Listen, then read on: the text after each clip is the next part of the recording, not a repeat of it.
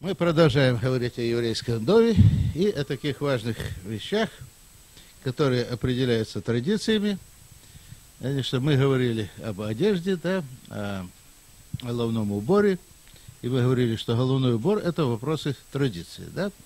И чтобы вы понимали, что, те, что э, то, что апостол Павел говорит в платочках, не все в Библии есть богодостоверное Слово Божие, но не все, что есть в Библии, есть слова Бога. Вы понимаете, да?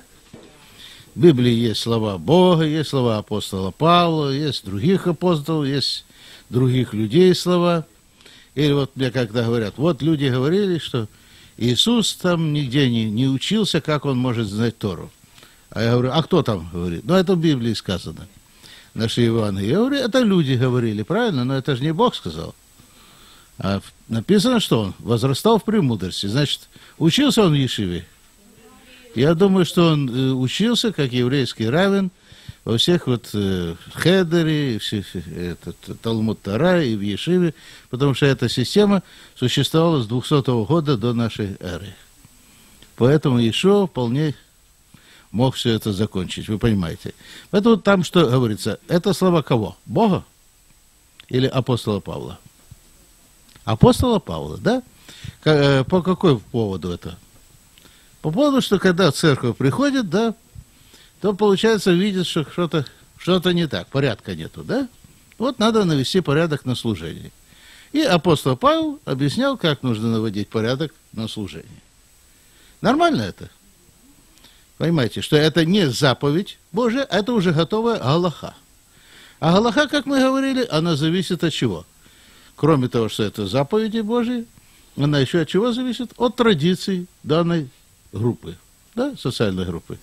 И главное в этих полточках то, что женщина замужняя должна отличаться от женщины незамужней. В нашей традиции принято носить кольцо, допустим, да?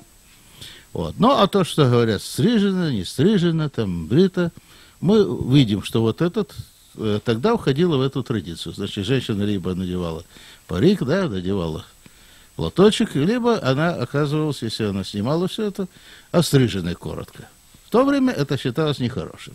Сейчас это нормально. Да, моя жена ходит без платка, но она стрижена. Так что все точности по Галахе апостола Павла. Согласны? Вот. И еще раз. Я еще раз говорю, что это не есть заповедь Божья. Поняли вы, да? Это, это Павел, это есть Галаха апостола Павла. Мы имеем право на свою Галаху в наших культурных традициях? Да, совершенно верно. Поэтому для меня таких больших проблем, как для некоторых, вопросы платочков нет. Мы должны одеваться прилично, да? Опять-таки, как прилично святым? Так что, одевать так, как одевали в первом веке? Это абсурд, правда? Нужно одеваться прилично в соответствии с данной социальной группой. По еврейской традиции считается, что, я еще раз говорю, у женщины, может, этот вопрос будет, да? Платье какое должно быть? ниже колен и рукава ниже локтей, да. Хорошо, вот видите. Вот. А были различные, любили люди э, одеваться модно, да, евреи любили модно одеваться, естественно. Кстати, э, в исламе, вот то, что женщина закрывает лицо, вот в действительности там э, говорится, что женщина не должна выставлять на показ э, свои украшения, свои волосы и так далее. То есть э, то же самое говорится, что говорил апостол Павел. Магомед говорил то же самое, что говорил апостол Павел. А почему женщины-мусульманки одевают чедру? Ну, понятно, что ничего не видно. Это их что? Ограда. Ограда, чтобы не нарушить заповедь, да? Ограда, чтобы не нарушить заповедь. И некоторые э, женщины еврейские в странах ислама тоже поступают точно так же, да? Хотя иудаизм этого не требует. Хорошо, теперь перейдем к еврейской кухне, да? Еврейская кухня и кашрут. Вопросы питания в иудаизме занимают очень важное место. По какой причине? Помните, когда произошла фарисейская революция, то стал другой взгляд на вещи. Если раньше существовал храм и существовала обыденная жизнь, то теперь мы царственное священство и должны жить как кто? как цари и священники, да? Поэтому отметьте, что стол – это домашний алтарь. Стол – это домашний алтарь. Супруга – его служительница. Ее миссия – следить за соблюдением законов и традиций, связанных с приемом пищи. То есть, кто занимается традициями по вопросам пищи? Жена, да? Ну, если жена не родит, тогда и муж занимается. Но, в принципе, он должен уже спокойно к этому относиться. И мы знаем определенные вещи, связанные с кашрутом, которые есть и хорошие, есть и плохие. Были случаи, когда евреи вообще э, ехали, брали с собой всю и посуду, и пищу с собой, и они не могли есть с неевреями. Вы помните, э, даже Петр в свое время для него была большая проблема, да? Когда говорится «закали и ешь», это не говорится то, что нужно есть свинину, а в том, что пришли не евреи, да? И он вошел в дом к неевреям и питался у них. И питался у них. Но это не значит, что он ел свинину, естественно. Есть и такие особые еврейские, так сказать, э, любимые штучки, ингредиенты. Прежде всего, чеснок. Говорят, что евреи пристрастились к нему во время египетского плена. И вот э, действительно, когда э, проводились раскопки, я говорил, вот эти города Рамсес и Питом, они реально существующие города, и в Библии они упоминаются, нашли, ну, как сказать, смету, что, чем кормили строителей. И оказалось, что там было очень много чеснока и очень много лука. Поэтому от евреев говорят всегда заповедь, да, русский дух – мы знаем чем, а еврейский дух это чеснок, да? Я сам чеснок люблю, я, э, конечно, могу не, не есть чеснок, но если один день я не поем, еще ничего, а если два дня я уже не поем, я себя чувствую как-то неважно. Чеснок, а?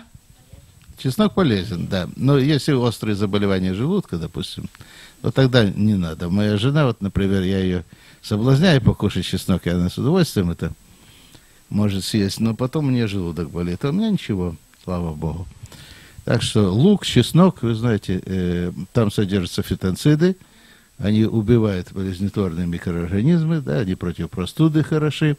И кроме того, чеснок это хорошее антисклеротическое средство, да, в пожилом возрасте его полезно употреблять. Любили евреи в Египте и рыбу.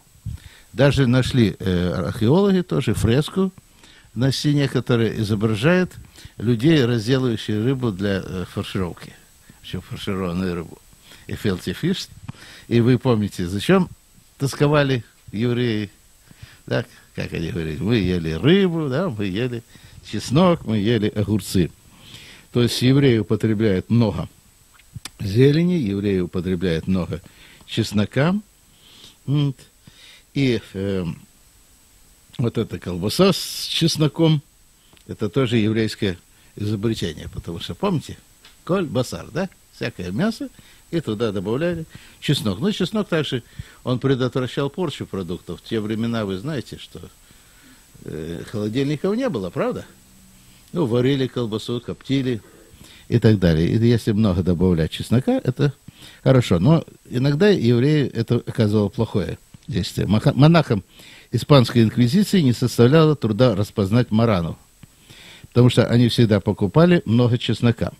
А перед Пасхой также хрен, лук, и поэтому новообращенных опознавали по этому признаку. Еще евреи любили лимоны. Вы знаете, есть еврейский праздник, который лимон является обязательным да, ингредиентом. Как это называется? Сукот, да? Сукот, там особые лимоны в Израиле. Да, такие большие, называется эдрох. Но, в принципе, это тот же лимон. И э, возле каждой еврейской колонии на побережье Средиземного моря была лимонная рощица. Вот интересная история с помидорами. Помидоры, э, когда открыли Мексику, то это э, помидоры, ну их место, так сказать, их рождение, их родина, да, Мексика. Но долгое время помидоры почти где-то 200 лет считались ядовитым растением. Их привозили в теплицы в Европе, ими любовались как экзотическими фруктами. И случилась одна интересная история. Несколько человек решили отравить Джорджа Вашингтона. И сделали ему салатик с помидорами. Он съел, сказал спасибо. И оказалось, что помидор не ядовит. Потому что, видите, все родственники помидора, у них плоды ядовитые. Да? Вот есть в Европе растет послен, там содержится сапонин, такое вещество, да. Э, картофель, плоды его ядовитые, да, и зеленый клубник картофеля, вы знаете, ядовитый, и стебли картофеля ядовитые. Но потом уже э, системы думали, что и помидор тоже ядовитое растение. И вот первый врач, э, доктор Сикари, он был еврей, он доказал, что помидор не ядовит. И в еврейской кухне их стали использовать очень широко. Кстати, насчет чеснока есть такая галаха, что э, запрещается да, есть э, чеснок, э, если меньше перерыв, вот как вы поели чеснок, и идти в синагогу меньше четырех часов. Да, вот. Так что можете тоже, да. Да.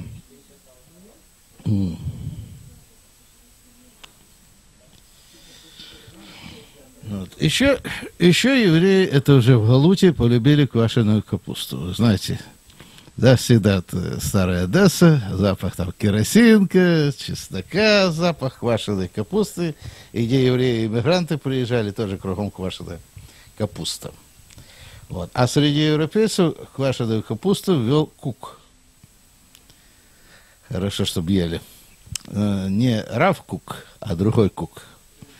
Знаете, есть песенка, за что аборигены съели кука. Молчит наука, молчит наука, да. Э, в славянских странах квашеную капусту ели все. А в Англии э, квашеную капусту пренебрегали. Вот. Они считали, что ну, это какая-то квашня, в общем. И было очень много среди английских моряков случаев цинги. И э, Кук, не Рав Кук, а вот тот самый, он приказал, значит, э, во всех английских кораблях есть квашеную капусту. А если матросы отказывались есть квашеную капусту, их пароли публично. И таким образом среди европейцев вошла в рацион квашеная капуста. Но у евреев это было любимое блюдо. И видите, евреи, есть два типа кухни. Ашкенадская и сифарская кухня, да? Ашкенадская кухня это обязательно там курочка, всякие жирные гусиный жир, гусиные шкварки, много бобовых, потому что евреи жили в Ашкеназе, в более холодном климате, да, и там такая жирная пища, и бывает даже не совсем здоровая. А у сефарту, наоборот, очень много различных приправ, да, очень много овощей, очень много зелени, например, там барашек с черносливом, приправленный мятой – и другими. Да? Помните, карлик нос был, который искал там особую травку, да? Наверняка он был еврей. Правда? С таким вот носом еврейский повар, который искал, да, который искал травку. Вот я, например, очень люблю кинзу. Кинза или кориандр, да. Кинза или кориандр. Это э, значит, внешним видом, да, корешки так немножко мельче, а так внешним видом она похожа на петрушку, но запах изумительный. А, э, видите, даже э, сравнивают с кориандром, да, с кориандром сравнивали евреи э, ман. У него такие зернышки, да, где-то 2-3 миллиметра. И тоже, если размолишь запах, но там уже немножко другой запах. Вот я без кинзы практически не, не ем тоже. Я все время если есть возможность зелени постоянно. Вот, если нет возможности, значит, в сухом виде она очень полезна э, при заболеваниях печени. Она улучшает э, также э, э, продвижение крови по сосудам, очищает организм. Тоже очень полезно. Но моей жене не нравится. Вот она говорит, я запах раздражает. А я восточный человек, поэтому мне нравится. Вот. Э, также различные виды укропа, например, фенхель растет в Израиле. Он у нас тоже, я у себя на огороде тоже выращивал. Я всякие специи выращивал у себя на огороде. Фенхель, э, кто-нибудь э, пробовал? Видом как укроп, зерна укропа, но с запахом аниса. тоже широко распространя... распространена в еврейской кухне. И различные другие виды специфических приправ. Некто Рахлин, еврей, ставший антисемитом, говорил, что кухня – это последняя нить, связывающая его с иудаизмом. Хотя он стал антисемитом, это последняя нить, связывающая его с иудаизмом. Еврея не назовешь ни обжорой, ни гурманом, но умная жена сумеет при помощи стола привязать его к себе куда крепче, чем постелью. Ну, вы знаете, что если брать ортодоксальных таких вот застегнутых евреев, которые сексом даже одеты занимаются, и только строго по определенным дням, и при этом там муж прочитает 20 псалмов, прежде чем лечь с женой в постель, да? Вот, то, естественно, секс не всегда доставлял евреям удовольствие. Зато покушать евреи всегда любили, правда? В особенности эти женщины всегда еврейские, полные такие были – вот, потому что они сами кушали, и мужа, мужа хорошо кормили. Значит, э, э, на Западе евреи злоупотребляют кофе. Помимо депрессии и нервных расстройств, которые влечет за собой неумеренное потребление этого напитка, он может отрицательно повлиять на сексуальную функцию. По этой причине даже, видите, мормоны отказались от кофе, да? Но они все равно заменили чем-то другим. Кока-кола, пепси-кола, я не знаю их составные части. Да. Ну, насчет алкоголя. Вот. Вы знаете, что... Да, а, кстати, евреи любят кофе пить, пить с цикорием. Евреи любят пить с цикорием. Это чисто характерная еврейская, еврейская черта. И евреи, старые евреи, значит, если считают кофе без цикория, то это не кофе. Считается так вот. Э, в начале 19 века сэр Фербер де Мальдештейн описывает зазских евреев, которые собирались вместе, чтобы выпить по чашке кофе. Э, и без этого, считает он, еврейская женщина не мыслит своей жизни. В Тунисе и Марокко кофе заменил чай. То есть больше чая употребляет. Возможно, и чай перевозился евреями да, с Востока, и Англия, и другие страны тоже получили чай по Великому Шелковому пути от евреев. Ну, насчет алкоголя, вы знаете, евреи употребляют вино, да, и э, религиозные евреи в небольших количествах.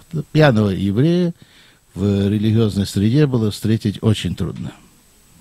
Поэтому, если еврей где-то и напивался втихую, так он маскировался, да, по этой причине. Э, помните, э, я вам говорил о Чингисхане, да? У Чингисхана была своя галаха, называется Яса. Похоже, я асе, да? Та асе делай на иврите, да? Яса вроде как типа делай. Э, сколько, сколько Чингисхан разрешал раз напиться монголу в месяц? Три раза. Три раза. Э, это его слова, что э, разрешается добиваться три раза в месяц. Э, ну, это кроме тех случаев, когда в походе, война и так далее. Говорит, желательно было бы вообще не пить, но кто это может выдержать? Это его слова. Поэтому евреи тоже, как говорится, есть можно время, когда спустить поры, да, как говорят. Это когда бывает? Да, да. На Пурим, да, там все наоборот. Евреи обычно воздерживаются. Итак, значит, еврей выпивает бокал вина. Пишите, пишите. Пишите. Да, бокал вина когда? Шаббат, да? Сколько считается бокал? Да, бокал это примерно 140-200 грамм. Вина, не водки. Вы сами понимаете. Хотя хасиды и водку пьют. Да. Итак, э, значит, бокал вина один в субботу, так? На свадьбу сколько бокалов вина? Два, да. А может быть, будет вопрос, сколько подадут? Хорошо. На Песах сколько бокалов вина? На Песах? На Песах? Четыре, да. Так, а на Хануку сколько можно выпить? А. На Хануку 2, да? На Хануку 2. А на Пурим? Да. Вот на Пурим можно напиться сколько угодно, да. На Хануку произносят два благословения. Одно благословение как общее праздничное, да, а другое благословение на именно на освящение, на освящение самой Хануки. Помните, мы говорили? Так, хорошо. Да, на Хануку два. На Хануку два бокала и уже напорим, сколько подадут, да? Сколько подадут. Хорошо. Но еще раз говорю, что евреи, алкоголики очень редко встречались. Сейчас, конечно, все происходит. Если уже напивается еврей, то вы знаете, если еврей благословен, то он благословен больше других, да? Если он проклят, опять-таки проклят намного больше других. Хорошо, теперь вопросы кашрута. Э, вы помните, что кошерным может быть э, не только пища, да? Кошерной может быть одежда, кошерный может быть дом, да, пожалуйста. Значит, э, благословение на праздник, когда мы зажигаем свеч, свечами, да, и благословение времени. Шагихияну, Вакииману, да, Лазман Хазе. Хорошо.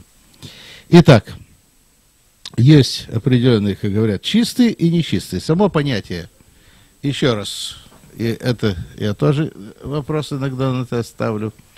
Значит, само понятие кошерный, это не означает чистый и нечистый. Да? Само понятие кошерный, это кошер означает связывать, да? Треф означает разрывать. Да. Кошерный означает связанный. С чем связанный? С определенными традициями, да?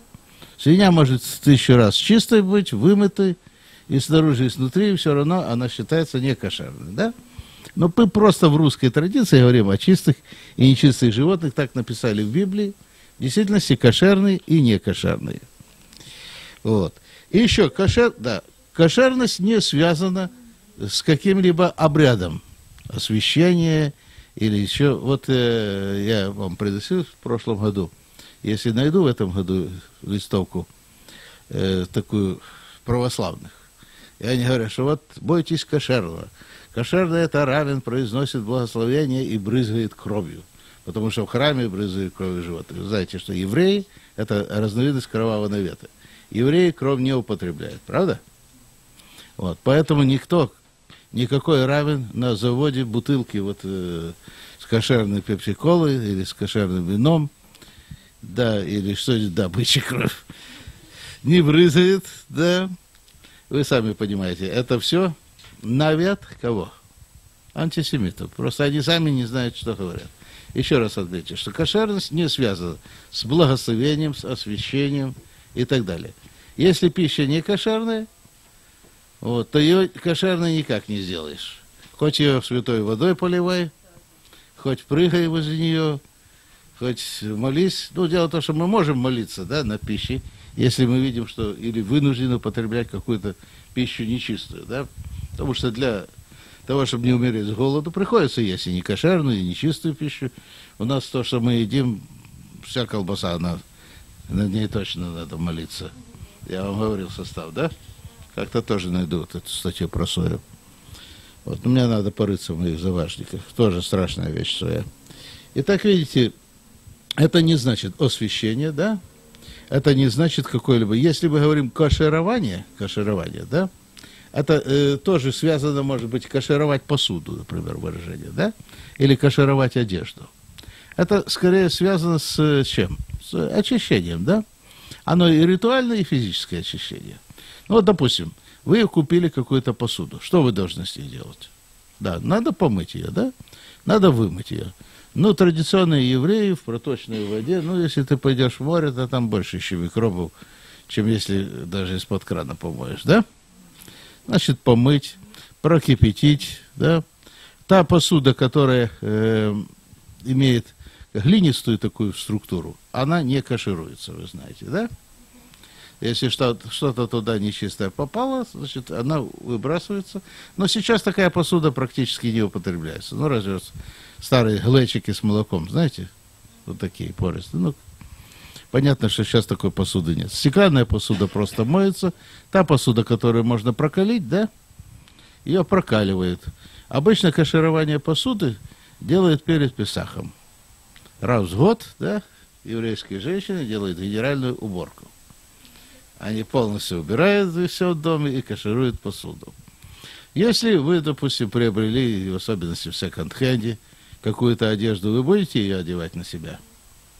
Вот, надо обязательно ее простирать, да, если она поддается там э, выворку, вываривать, прогладить, в зависимости от того, в каком температурном режиме она дается. Но постирать надо обязательно, в любом смысле.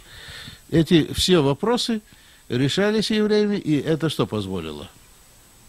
Позволило евреям выжить в самых тяжелых условиях, когда были эпидемии холеры, чумы, которая передается грызунами там, и другими нечистыми животными, то евреи оказывались на высоте. И иногда даже евреев обвиняли. Вот смотрите, сколько наших умирает, а сколько их умирает. Значит, это они, наверное, отравили колодцы и так далее. А евреи всегда, если вода из неизвестного источника, что нужно с ней? Прокипятить, да? Прокипятить и так далее. То есть это было все нормально. Если сосуд 5 минут остается открытым, согласно еврейской традиции, да, то содержание сосуда уже считается, что нечистым, да, потому что, ну, муха может залететь, и там какой-нибудь таракан запрыгнуть и так далее. В особенности в наших условиях в Одессе, где разные насекомые бегают. Ну, не истребляйте тараканов, не истребляйте, оставьте их. Хуже будет потом, как оказалось. В тех местах, где истребляют тараканов, потом муравьи идут еще хуже. Ну, конечно, надо уменьшать их количество, но не полностью. Вот. Если в пищу попадает какое-то, значит, нечистое животное, или завелись гусеницы там, и так далее, значит, что нужно? Если это сыпучие продукты, нужно перебрать, да? Если эти продукты невозможно перебрать, что нужно? Выбрасывать. Значит, яблоко может быть кошерным или не кошерным? Да? Яблоко нужно удалять в пределах здоровых тканей. И, как оказалось, очень правильно – Потому что если вот есть люди едят яблоки побитые, и вот это, видите, там темные, потемневшие, вот это, особенно гнилые яблоки, они обеспечивают э, рак желудка. Э, еврейская традиция запрещает э, употреблять э, внутренний жир. Вот, в крайнем случае, внутренним жиром кошерных животных можно смазывать противни. Внутренний жир, вот типа свалится такой. Да, даже, даже, даже у кошерных животных. То есть тот жир, который содержится в надпочечниках, да, в этих в брюшной полости, рыбий жир он не относится. Если рыбий жир кошерной рыбы можно употреблять, значит, э, ну, ну, внутренний жир, комбижир разные вот продаются, да. То есть э, израильские э, исследователи показали, что 20 грамм такого жира и где-то на протяжении 10 лет тоже обеспечивает или заболевание поджелудочной железы, опухоль поджелудочной железы, или опухоль желудочно-кишечного тракта желудка.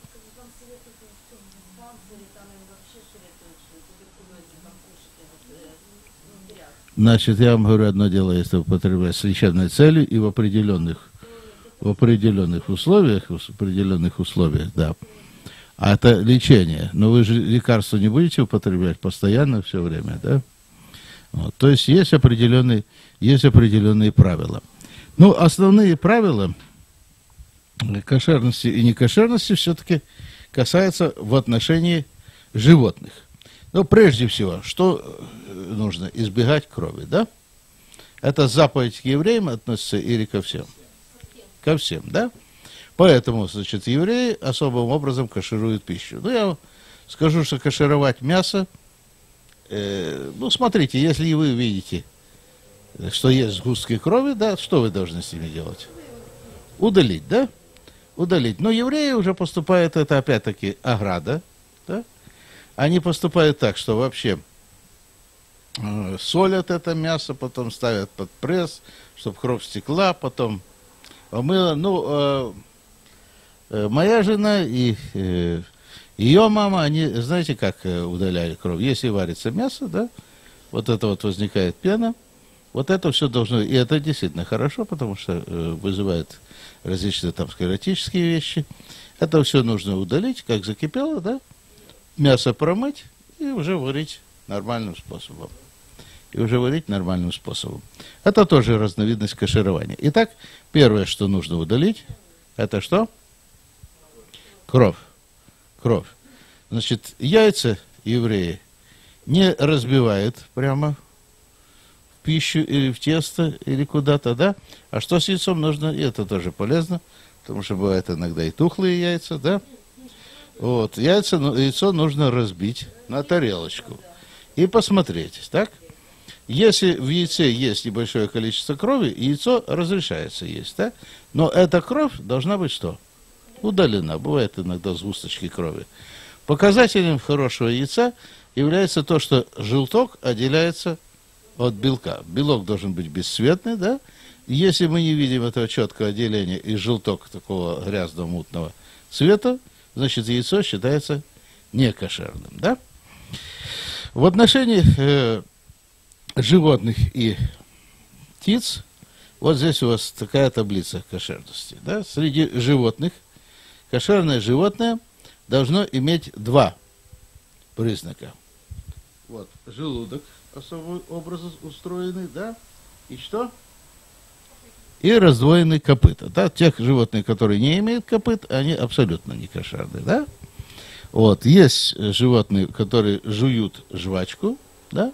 У них имеется желудок, там несколько камер в желудке, они эту жвачку сохраняют, потом отрыгивают, да, и потом, значит, опять едят эту жвачку, и таким образом они переваривают. Ну, вот лошадь, например, она ест жвачку? Лошадь не ест жвачку. И копыта у нее не раздвоены, да? Теперь вопрос такой, вот если животное не кошерно, кошерно ли ее молоко? Да, значит, э, э, некоторые израильские раввины решили, что молоко употреблять все-таки можно. Есть такие строгие, которые во всем ставят ограду, да? Вот, есть э, фермы, где разводят в Израиле верблюдов, и даже делают мороженое из верблюжьего молока. Вы знаете, верблюжье молоко, оно особенно полезно. И кобылье молоко полезно. Значит, на каком принципе основывает это равины? Э, пчела является некошерным животным. Да, я вам говорю, что все, я не скажу, все насекомые, да, присмыкающиеся, жабы и так далее, они являются некошерными, да? Вот. Но пчела не кошерное животное, но что можно? Мед есть, да? Из насекомых единственное только саранчу. Кузнечиков нельзя есть. Саранча и кузнечики это разные виды. Да, четыре вида саранчи есть, которые допускаются к тому, чтобы есть. Почему? Вы знаете, что вообще кузнечик хищное животное? Он ел одну лишь травку и не трогал ни козявку, это не о кузнечике, это о саранче написано. А кузнечик хищное животное, чтобы вы знали. И кузнечики, богомол – из этой же группы животные, но они являются хищными. Поэтому кузнечиков не кушайте. Саранчу можно. А раков можно кушать? Нет. Да. Видите? А, опять-таки, вот, например, кролик, да. Вы знаете, есть животные кофрофаги. Копрофаги, то есть питаются калом. Вот. Э, жвачные животные, они добиваются полного переваривания пищи, потому что у них пища находится в желудке. Кролик поедает пищу, она в ее первый раз не, поед, не переваривается.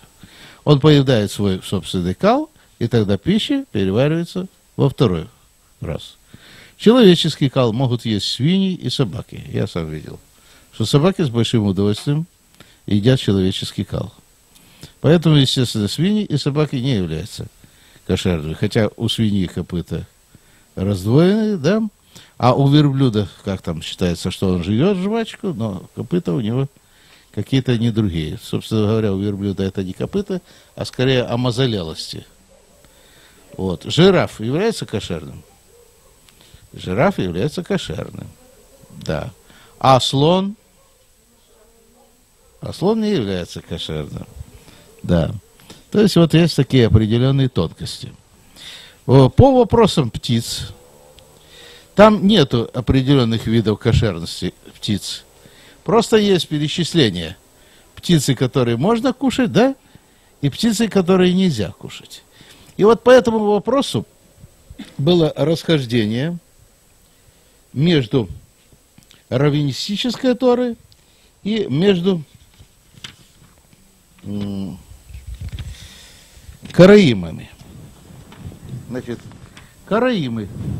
Караимы, э, у караимов чистые считается только семь видов птиц, которые перечислены, что можно есть. Да? Остальные считаются нечистыми. Э, в э, раввинистической традиции, наоборот, считается, что в принципе птица чистая, если они относятся к тем видам и родам, которые нельзя есть. Но вот смотрите, интересно, утку можно есть? Гуся можно есть? Но лебедь из того же семейства, однако конкретно о лебеде почему-то, да, сказано, что лебедя нельзя. Я не знаю, какие это причины. Цаплю можно кушать? Нельзя, да? И всякие хищные птицы, которые питаются, значит, э, либо там падальщики птицы, сервятники, орлы и так далее, они считаются тоже некошерными. Поэтому этого нет в Торе, но еврейская традиция придумала такой признак кошерности. Те птицы, у всех птиц по четыре пальца, да? Те птицы, которые имеют три пальца спереди и один палец направлен назад. Они какими считаются? Кошерными. Да, те птицы, которые имеют два пальца вперед и два пальца назад, они являются какими? Некошерными. Вот по этой причине пингвин, евреи говорят, кошерная птица, да?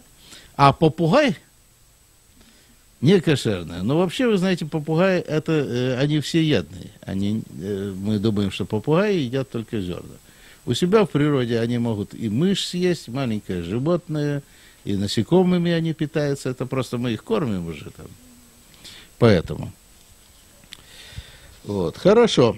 Относительно рыбы. Относительно рыбы существует два признака кошерности. Э, видите, у животных и у птиц мы что с кровью должны делать? Удалять, да? А из рыбы удаляется кровь?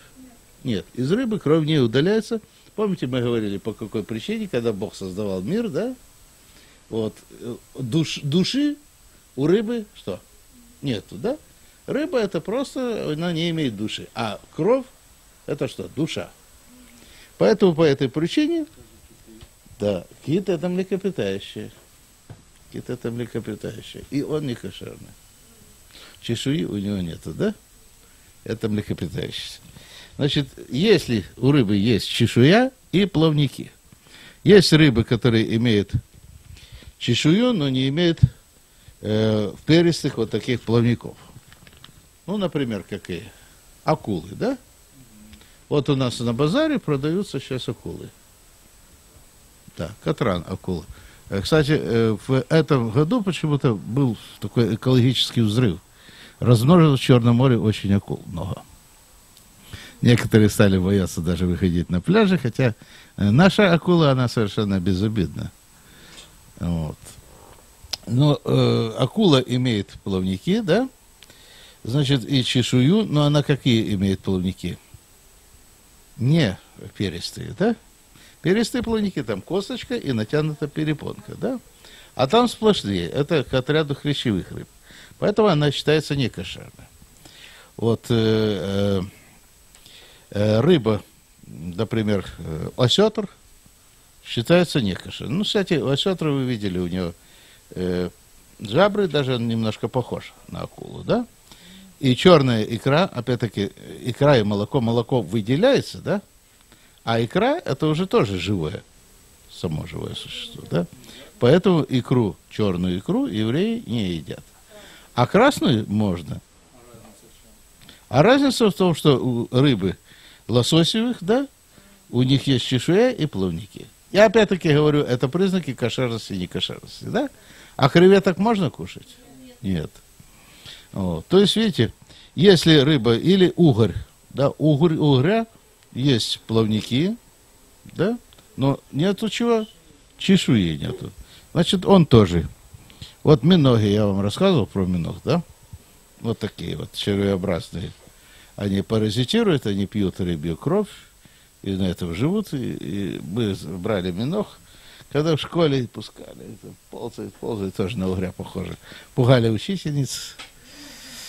Э, всячески они говорят вкусные, но их есть тоже не кошерно. Не кошерно. Кстати, строго говоря, строго говоря по Торе, грибы тоже относятся к некошерным продуктам. Потому что говорят сеющий семя, да? А семени у грибов что? Нету, да? Трава, сеющая семя, деревья, сеющие семя. Грибы не относятся, ну, грибы не относятся ни к траве, да? Вот, сеющее семя ни к этому. А спора это не семя, там другое устройство устройство споры, оно примитивное. Семечко, оно все-таки имеет определенное строение, правда? Так, по крайней мере, говорит еврейская традиция. Ну, есть очень, я говорю, хорошие вещи, вот, но есть то, что мне кажется не совсем правильным. Не совсем правильным это э, отделение мясных и молочных продуктов. В принципе, это неплохо. Потому что э, дело в том, что брожение – брожение э, есть в молочных продуктах, да, а в э, мясных продуктах какой процесс происходит? Гниение, да? Поэтому нежелательно есть. В общем-то, ничего страшного с вами не будет, в смысле здоровья, ну, кожа немножко раньше стареть будет. У женщин морщинки больше будет появляться, да. Потому что происходит отравление организма. Ну, вот. Но, в принципе, да, но в принципе это не так уже страшно. Но евреи сделали из этого культ. Вы понимаете, что это просто э, ограда, вот это типичный пример, ограда на ограду.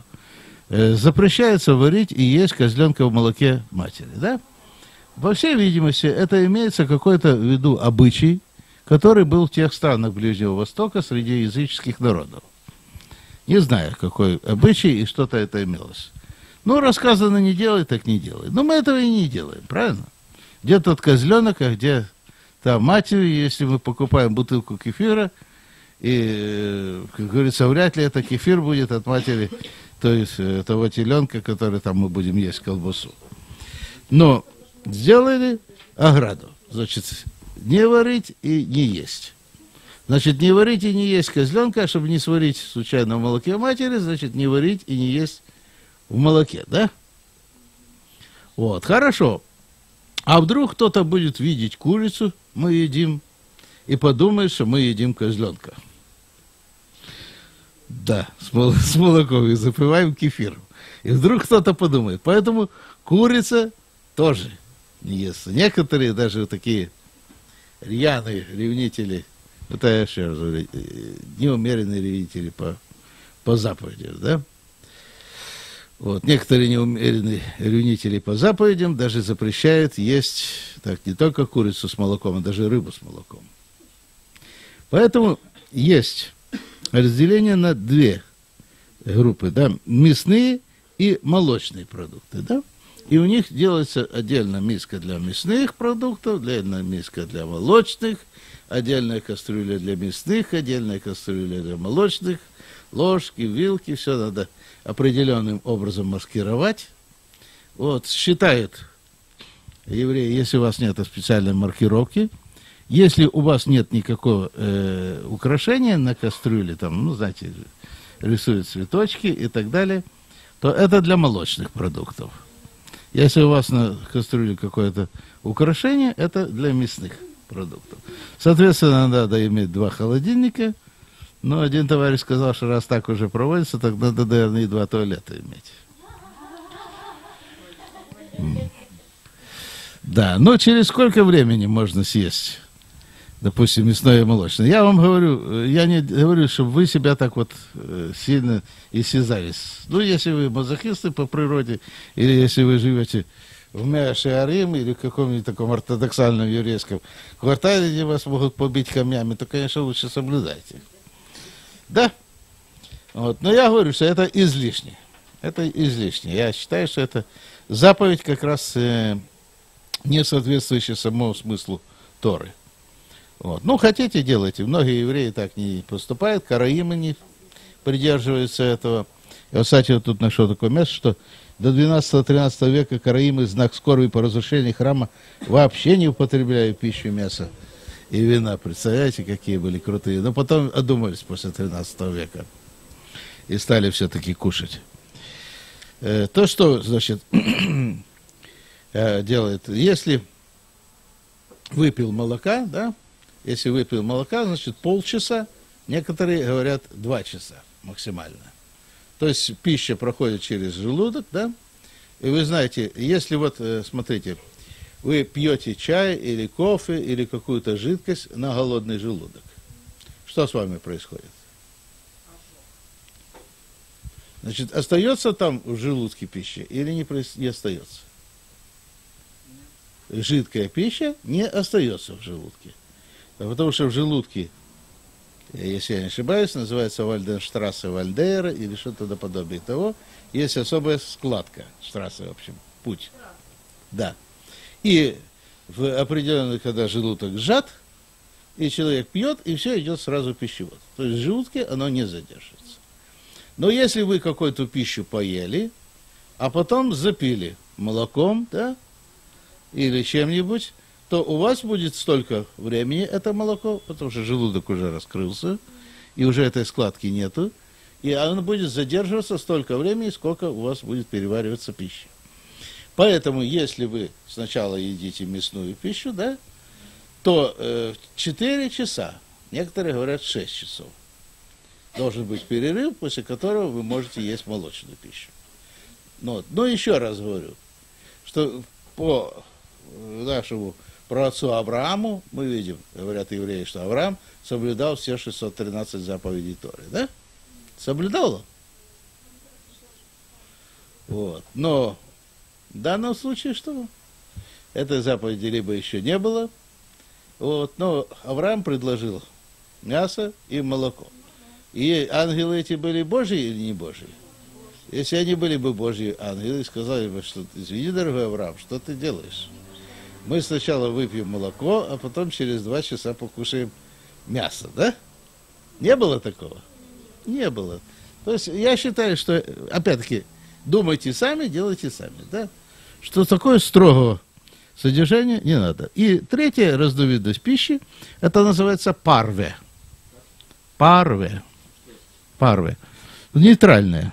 Переводится нейтральная.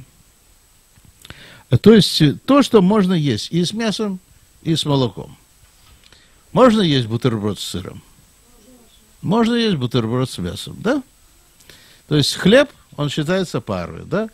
Хлеб, зерновые продукты, различного рода каши, картофель и так далее, это называется парве. Потому что можно есть и с тем, и с другим, да? Но одновременно добавлять, уже если у вас есть картошка, вы добавили картошку э, в э, толченую картошку, пюре добавили молоко и закусываете котлетой. К примеру, да?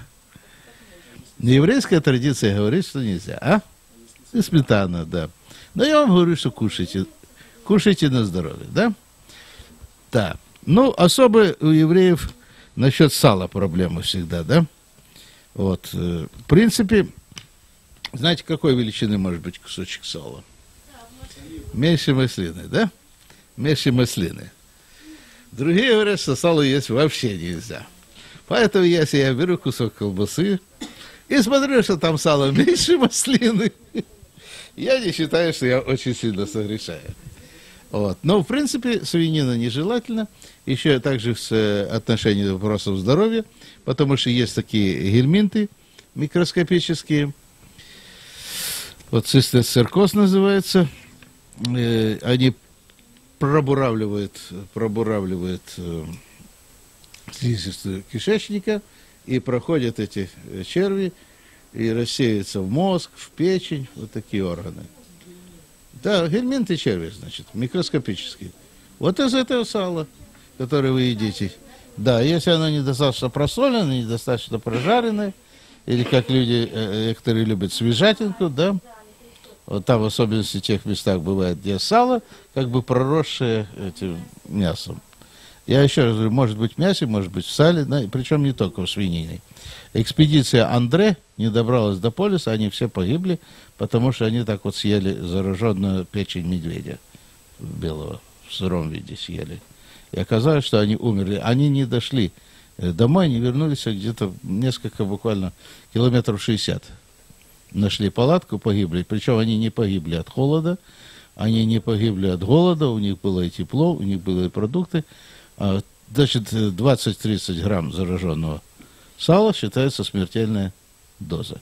Если вы сало не кушаете, то все нормально. У нас на, на Украине тоже бывает это заболевание.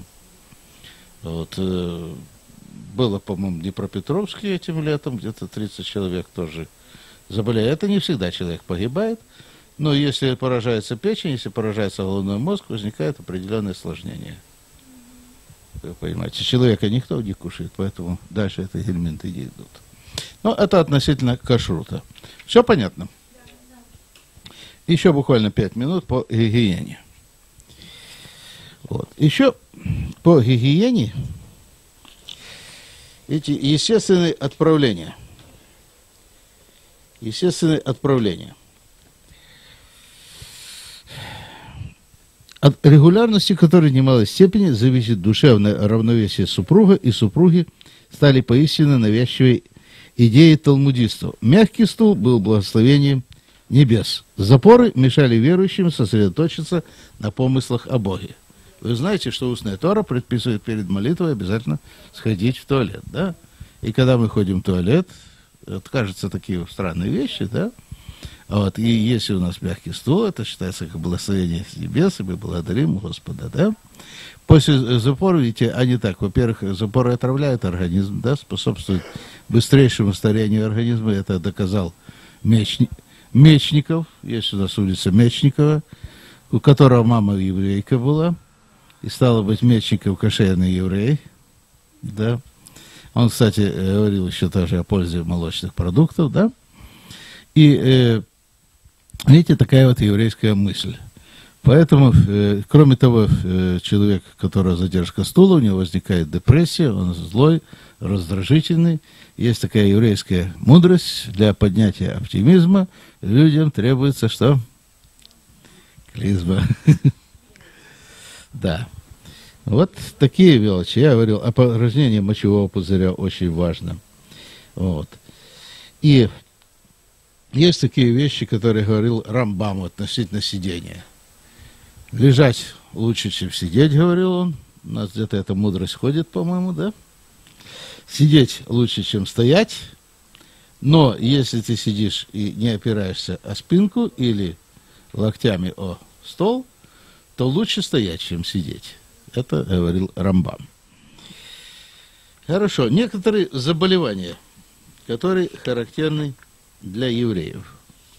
Некоторые заболевания, которые для евреев характерны, некоторые наследственные заболевания, особенности у ашкенадских евреев, потому что они жили либо в гетто, да, либо в городках маленьких, и эти гены ущепляются. И вот часто у евреев наблюдалось слабоумие. С одной стороны, евреи – это очень одаренные люди, да, мы говорили, вот есть нечто среднее статистическое, и есть отделение в одну и в другую сторону, да. И вот поскольку много есть и гениальных людей, но много среди евреев было и слабоумия, и различных других заболеваний. В каждом штетле был свой дурачок, об этом можно и в Шалом Алейхема прочитать, и в других э, еврейских рассказах, Башевича Сингера и так далее. И почему же это такое происходит? Значит, есть э, болезни генетические, связанные как бы с еврейскими вещами. Это болезнь Альцгеймера. Альтц, Альтцгеймер. Альтцгеймер – это немецкий еврейский, еврейского происхождения. Да, врач Альцгеймер, который исследовал эту болезнь, и оказалось, что он сам был болен. Он исследовал эту болезнь среди еврейских иммигрантов. Когда евреи, помните, приезжали массово в Соединенные Штаты Америки. И оказалось, что в возрасте 50 лет нормальный здоровый мужчина, поражает преимущество мужчин, потому что связан с мужским полом, начинается слабоумие. Он начинает забывать элементарные вещи, уменьшается словарный запас, то, чего он еще научился, он может помнить, да, но он не помнит, что ему давали кушать, если жена не заставит его Кушать он не будет кушать, хотя сам процесс еды он будет, да? Вот, скажет, иди в туалет, он пойдет в туалет и сделает то, что надо. А не скажет он, что будет сидеть и ничего не сможет, да? Он абсолютно не помнит. Обычно э, что труднее запомнить? Существительный, правда? Вот такой круглый, желтый, как он называется? Кислый. Ну, как он называется? Лимон, да? Правда? Вот такие вещи. Да, я вам рассказывал анекдот, да? Говорит, ой, у меня такой хороший доктор. Он меня от склероза полностью вылечил. Говорит, а как же фамилия вашего доктора? Да? Ну, ну вот он, цветок с шипами, как называется? Роза. Да, вот своей жене толкает. Роза, скажи фамилию моего доктора. Э, кто из известных знаменитых э, э, людей страдал болезнью Альцгеймера? Рейган. Да, Рейган. Хорошо. Болезнь Паркинсона. Болезнь Паркинсона. Это поражает в пожилом возрасте. Вот такая скованность, да, называется дрожательный паралич. Вы видели? дрожит. Она может быть у разных людей, но многие несут еврейские гены. Но у евреев наблюдается чаще. Харе Геттингтона. Редко встречается. Я где-то трех человек видел, все они были евреи. Один из них даже имел э, одну бабушку, тут еврейку я видел. Она, наверное, уже умерла, вот в Форто-Франковской она ходила. Там вот такое движение. Вот, знаете, сидит человек, так вот начинает да, двигаться, так вот, двигаться. Они обычно вот это пытаются маскировать, там, почесать ухо или что-то сделать, но видно, что это насильственные движения. Если при паркинсонизме дрожательные, то здесь вот такие хорея Гентингтона. Хорея Гентингтона. Начинается примерно в возрасте 40 лет. Тоже в э, более поздних стадиях присоединяются и признаки слабоумия. Болезнь прогрессирует и нет лечения. И был у меня такой больной по фамилии Дрыжек – поскольку у него фамилия Дрыжик, то можно видеть, что его предки, да, тоже э, болели этим заболеванием. Вот, это наследственное заболевание. Ну, геморрой у евреев наследственное заболевание, да? То есть не наследственное, а, так сказать, производственное заболевание, потому что они долго сидели с Торой. Но, может быть, и наследственное. Также Э, у женщин чаще варикозное расширение вен, но типичное еврейское такое заболевание – облитерирующий эндортерит. Его даже называют еврейская болезнь. Облитерирующий эндортерит. Э, развивается чаще у людей, которые курят. Э, происходит склерозирование сосудов нижних конечностей. И отнимаются ноги, ноги бледные становятся, возникает гангрена, приходится палец отрезать, потом ногу выше, выше, выше, выше ну, слава богу, не очень часто, но, но бывает, и чаще у евреев. Наследственная предрасположенность плюс курение. Вот. Ну, э, алкогольное э, слабоумие и так далее меньше встречается, а вот такие вещи, как наследственное слабоумие, могут наблюдаться, в особенности при близко родственных скрещении. Я э, наблюдал, значит, некоторые такие вещи у людей, которые были женаты на своих троюродных сестрах. Ну, а на двоюродных, то тем более может быть. Ну, я, вы знаете, что я работал и в психодеврологическом диспансере, да, в Великой Михайловке я работал психодеврологом, поэтому у меня опыт по таким заболеваниям есть. Ну, хорошо, на этом сделаем перерыв пока.